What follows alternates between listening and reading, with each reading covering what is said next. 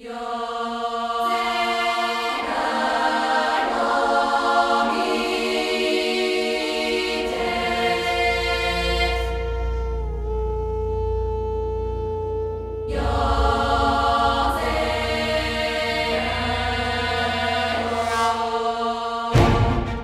wind of darkness, a malignant wind, blows indifferently, with drenching rain or dry rage.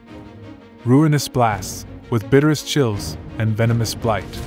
It always blows tremulously, an expression of anger as well as of fear. Kind of quivering, ominous whimpering, panic struck, feverish.